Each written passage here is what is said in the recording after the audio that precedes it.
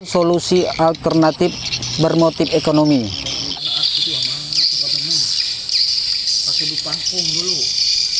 Juga kayu atau asap cair.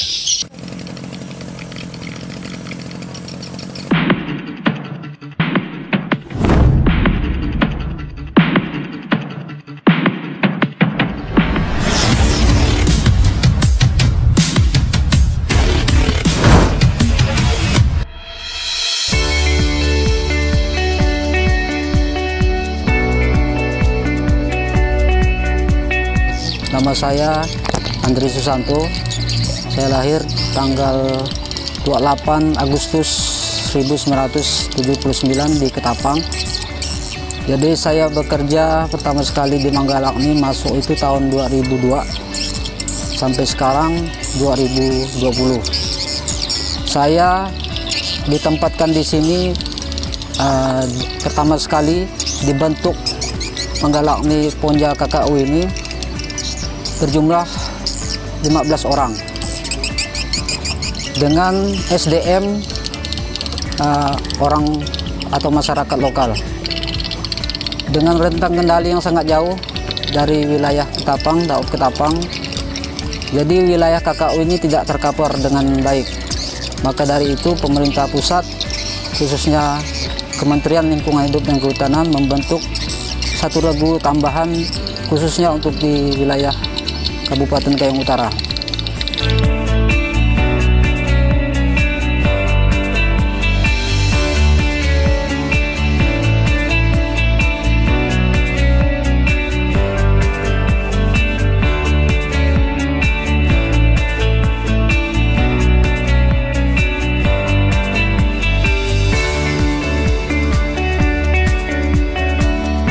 Saat ini Ponja KKU masih uh, statusnya pinjam pakai dengan Pemda KKU.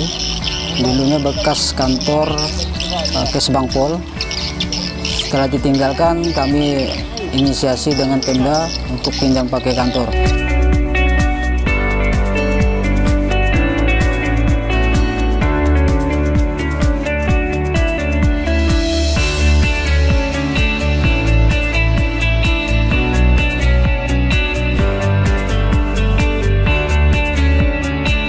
Dengan keterbatasan personil yang hanya berjumlah 15 orang, kami rasa uh, sangat sulit untuk mengcover wilayah KKU yang begitu luas.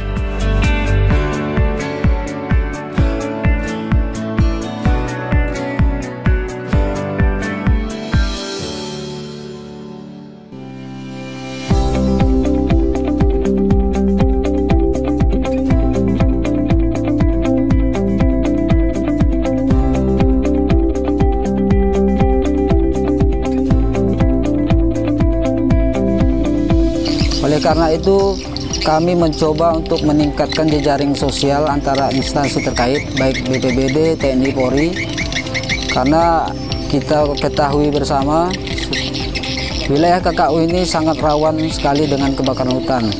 Dengan wilayah gambut yang kurang lebih 60 persen, sehingga sangat sulit sekali untuk mengendalikan kebakaran hutan dan lahan.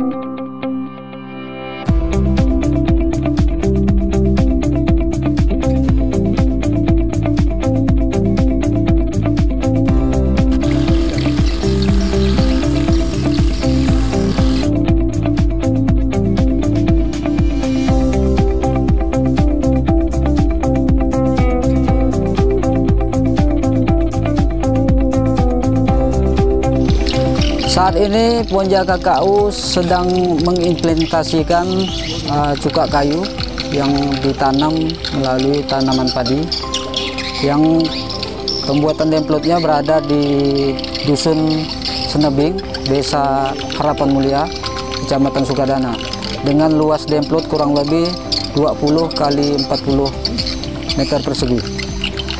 Saat ini kawan-kawan sedang melakukan penanaman dan pembibitan sekaligus mungkin 15 hari ke depan akan dilakukan penyemprotan dengan menggunakan asap cair.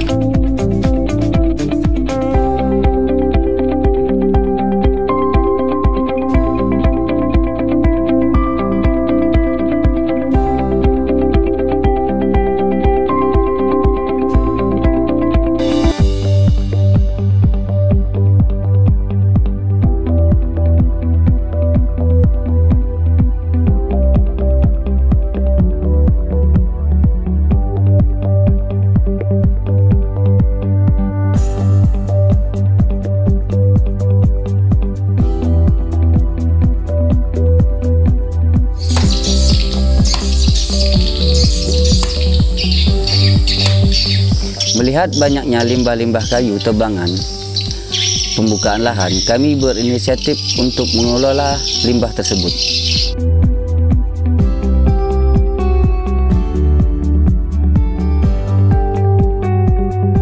Di saat Rakornas yang dipimpin oleh Presiden Jokowi baru-baru kemarin, beliau menekankan bahwa carikan solusi alternatif bermotif ekonomi.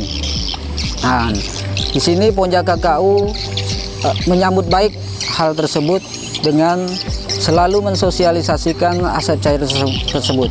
Jadi untuk saat ini mohon doa dan dukungan semua pihak agar cuka kayu ini bisa menjadi salah satu solusi alternatif bermotif ekonomi.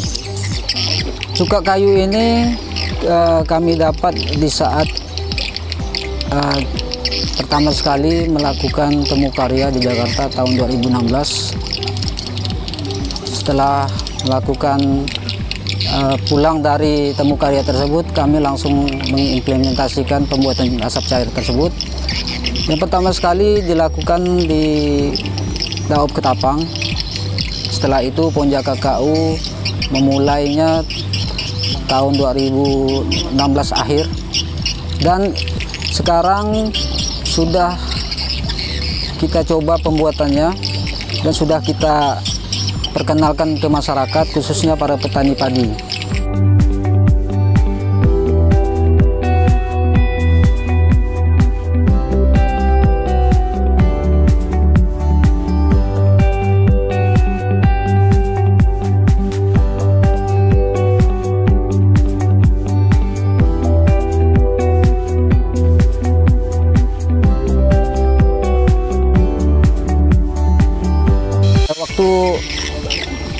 COVID-19 pertama sekali muncul, kita juga pernah melakukan pembuatan disinfektan. Uh, pertama kita lakukan penyemprotan itu di Desa Harapan Mulia. Di sana juga terdapat rumah-rumah uh, PDP dan juga dilakukan penyemprotan di kantor-kantor maupun di tempat-tempat wisata maupun di tempat-tempat peribadahan. Perlu kita ketahui tugas pokok dan fungsi Manggala ini itu ialah pengendalian kebakaran hutan dan lahan. Jadi yang ditekankan di sini adalah uh, pencegahan. Bagaimana cara kita mencegah agar tidak terjadi kebakaran hutan dan lahan. Uh, di sini kita di saat kita melakukan patroli baik itu patroli mandiri, patroli terpadu bersama pihak TNI, Polri dan masyarakat selalu kita tekankan upaya pencegahan dan ini kita selalu masukkan tentang asap cair. Untuk itu kami menggalakni Kalimantan 10 Ponja KKU mengajak seluruh mitra Dalkarhutla agar bersama-sama menjadikan KKU bebas asap. Mari kita cegah kebakaran hutan dan lahan. Brapo semua mitra Dalkarhutla? Brapo KKU, KKU Jaya.